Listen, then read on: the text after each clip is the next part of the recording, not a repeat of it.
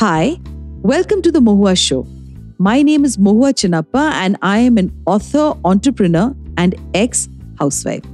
This podcast is about everything from business to technology to arts to lifestyle, but done and spoken imandari se.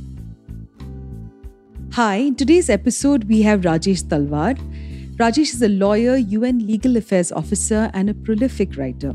Rajesh has worked with the United Nations for over two decades across three continents in numerous countries.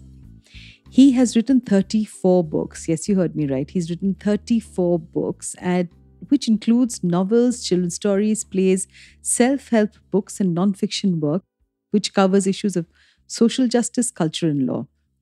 We're going to talk to him today about his new title, How to Kill Everyone on the Planet Ukraine and Other Recipes for a Nuclear Matricide, which is a thought provoking and deeply troubling play concerning the survival of our planet in a conflict ridden world.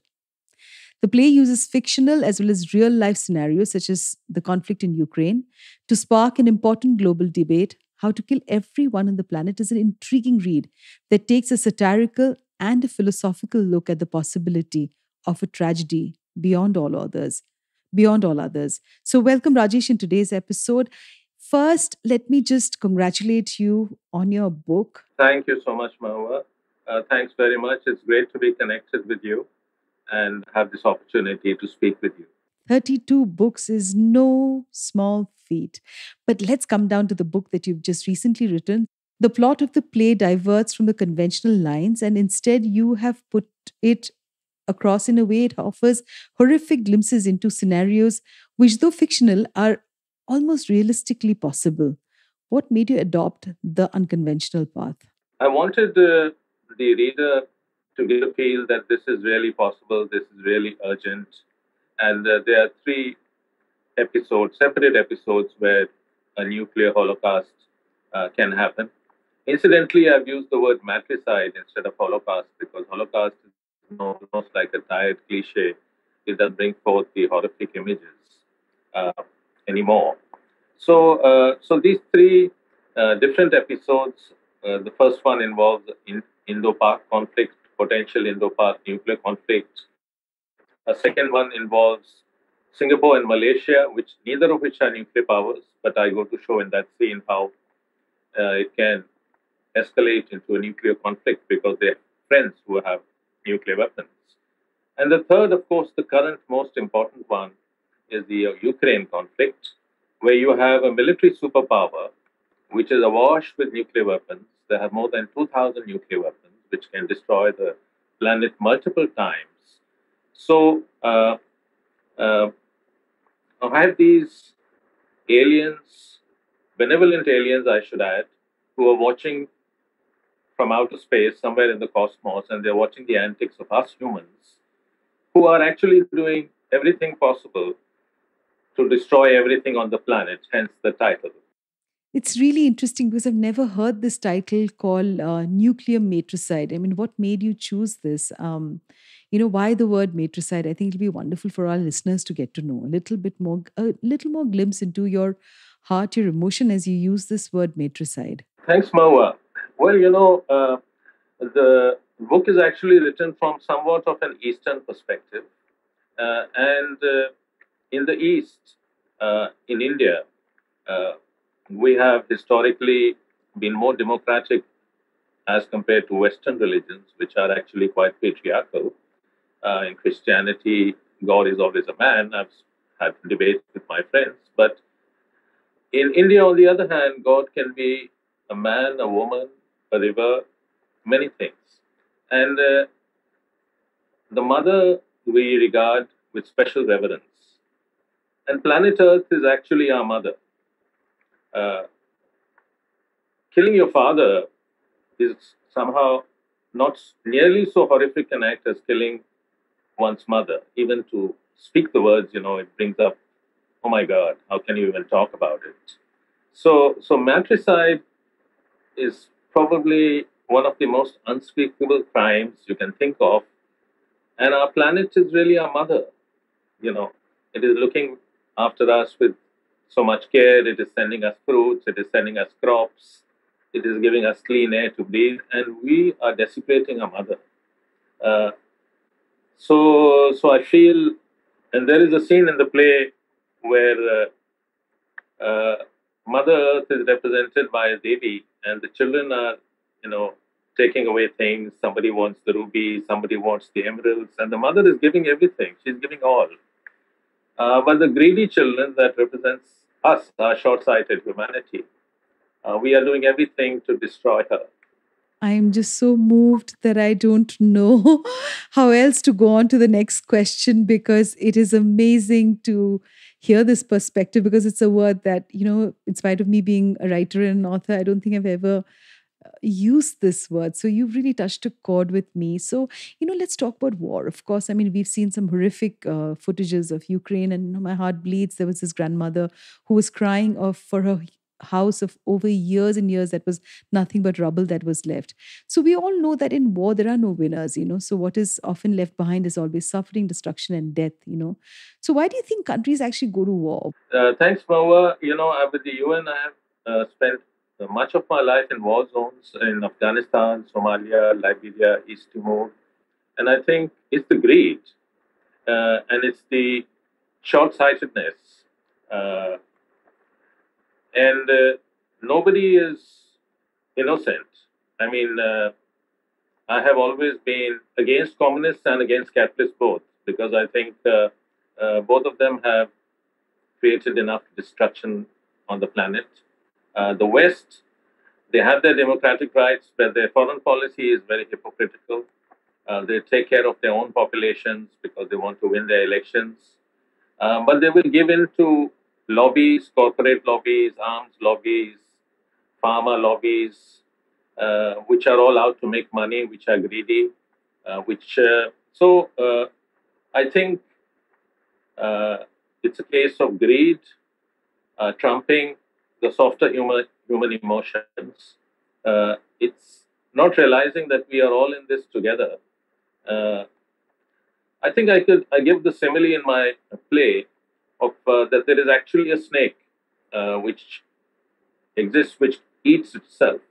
It doesn't realize it sees its tail and it thinks this is some other creature, and it starts eating its tail, uh, and greedily dev- devouring its own tail. But then it does reach a point when it realizes, oh, this is myself. Uh, and I think we humans, we are like that snake. But unfortunately, we may not be even as wise as that snake. We may kill ourselves before we realize. Uh, it's interesting that when I was thinking of a title for this play, uh, I spent a few days thinking because I wanted something very striking. And then I thought of how to kill everyone on the planet. And then I thought, oh, this is such an obvious title because we've been trying to do this for decades. Uh, some other author must have surely taken it. Uh, then I Googled and I was astonished that nobody has yet taken it. I said, oh my God, this is so strange, such an obvious title, because we've been doing this for decades, trying to kill ourselves, kill everyone on the planet, uh, but it's not there. So uh, we're greedy, we hide our own greed from ourselves. Uh, we are hypocritical. We don't look at ourselves uh, with honesty. Because I was thinking about Dante, and I, you know, you have spoken in your um, play about heaven and hell that's created by God, and in the very first scene of the play. So we have this notion of good deed uh, being rewarded by God and bad deeds being punished which is inculcated right from the start, right? So, how far do you think it has persuaded human beings to mend their action? Do you think it really, you know, when we think about good and bad and we think about punishment and uh, redemption, do you think human beings in today's uh, world even think about all these things? Uh, well, it's interesting that you mentioned the scene because actually, God, uh, in the very first scene, uh, Saint Peter, because it's a Christian God, Saint Peter comes to him in a panic uh, it's the time of the Hiroshima Nagasaki bombings. And God says, what's, ha- what's happened? Why in such a panic? Everything okay in heaven? He says, you know, it's going to, I don't have enough staff to decide who I'm going to send to hell, who I'm going to send to heaven, because so many people are coming. And God says, what is the problem? We've had pestilences before, we've had epidemics before, and you've always been able to sort out the good eggs from the bad eggs and send them to hell or heaven. He says, yes, but it has never happened before. And this is the first with Hiroshima and with Nagasaki, that so many hundreds of thousands of people have all died within the space of a few minutes. So he says, I'm just overwhelmed. Uh, there's so many souls. How do I sort them out? So God Himself is frustrated, and uh, no spoilers here. But you know, in in one scene towards the end, he's saying he tells himself that maybe the hell which I have created, uh, humans have surpassed me, uh, because with this these nuclear bombs going off, they have created a hell that even I could not dream of. So, so we are moving towards a hell-like situation where uh, robos might press nuclear buttons and bombs might start getting detonated, uh, and uh, the planet may be set on fire. Without being alarmist, uh, I'll refer to a Chicago professor, John Mearsheimer, who is a world authority on how great powers behave. And he says it's a catch 22 situation right now in Ukraine because if Russia wins, then the idea of national so- sovereignty gets undermined, which is so very important. But if L- Russia starts to lose, you never know with President Putin, he could, he's an erratic man, he could push a button. And uh, then the button might involve a response, and then, you know, we don't know what we're looking at for Europe and for the rest of the world. It's really frightening to think about that. But, you know, I want to ask you when you've spoken about benevolent aliens, why do you think that, you know, you've introduced aliens? Do you believe that human beings are incapable of being benevolent when you put together your story and your play? Um, why would you think of an alien, to, uh, you know, to be benevolent? Um, are you very jaded with the things that you see around you? Well, yes. Uh, let me. Uh, uh, the aliens who are watching are benevolent, but they are also malevolent aliens. In fact, there's a group of malevolent aliens who aliens who co- decide to colonize Earth. And uh, just like you're asking, one of them says, "Well, we are also, you know, benevolent-minded. Uh, so why are you being so hostile to us?" And he asks him a few questions. He says, "Are you really that benevolent?" How have you treated your own species? You're killing and slaughtering them. How did you treat the Aborigines in the Americas? How did you treat them in Australia? Did you not exterminate them? Did you not enslave the African Americans, millions of them? And he says, forget this is your own species, but how have you treated the other species? Haven't you put them in cages? Aren't you calling the, causing the extinction of so many species? Aren't you uh, showing great brutality with regard to their treatment, keeping them in cages, keeping them uh, in inhuman conditions? So uh, we congratulate ourselves on being human and humane. But if an alien were to ask us, how do we humans treat other humans? How do we humans treat other species on the planet? Why do we arrogate to ourselves the kind of monopoly that we can eat everybody else and nobody can eat us? If a tiger eats us, and of course, it's a horrible, horrific beast. Um, we are eating billions of, uh, and this uh, this outside, this alien is the only planet, or only uh, animals which are surviving on the planet are the ones that you want to eat or the ones that satisfy your craving for love, uh, which are pets we keep. So dogs, cats, and other pets, they survive, and the ones that we eat, they will survive because we need to eat them. But otherwise, we are not very benevolently disposed it's amazing that you you know you make me actually start to think about how sometimes you know we, we start thinking that we are really greater in the species uh, around us but actually we are all survivors and in our own way always looking at our own selfish means. So you know how much do you think about technology? I mean do you think technology today is really debilitating our lives in many ways? Because one can't deny that today the world is changing and you know even this podcast that i'm doing with you we need technology to be with one another but it comes in with its own vices. It it's a bane and a boon you know. Um, so how much of a bane would you call this and how much of a boon would you call this? Uh, well i think uh, the technology itself uh is in a sense neutral and it can be a source of great good, uh, which it is. I mean, in terms of the medical cures, in the terms of the comforts which we enjoy. Uh, but it's really the potential misuse of technology, which you see in these wars. Uh, you have these drones which are being operated by somebody sitting in Arizona, thousands of miles away, and they're, they they they see a wedding taking place in Afghanistan, uh, and they mistake the celebratory gunfire for uh, the Taliban doing uh, shooting practice, and they drop a bomb in which everybody in that wedding is massacred.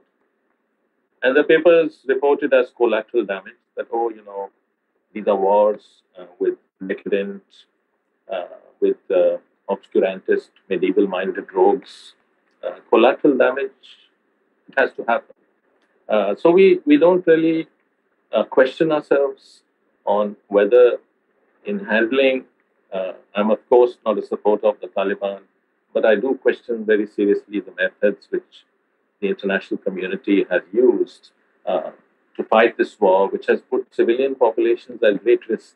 Absolutely. I agree with you on that completely, Rajesh. Yes. But you know, when you have spoken about something so serious, I mean, we've spoken about wars, we've spoken about how humans are dehumanized and, you know, we are incapable really of feeling for one another, you know, but you've also added humor. I mean, what was the reason that you added wit and humor? Is it because it inspired you to do that? You think it's more effective in driving home the message, uh, you know, on something as serious a narration as uh, narration as your um, title? Well, you know, I think it's because uh, even when you because messagey plays or preachy plays, they don't get a, the message across either to adults or to children.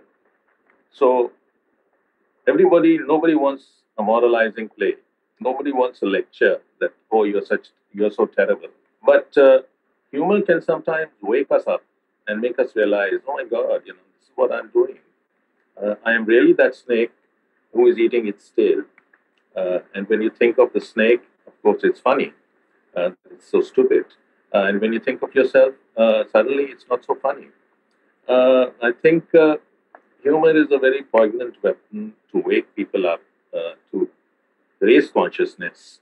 And so, an unrelenting seriousness, nobody can put up with it. I mean, I think I would find it difficult also, you know.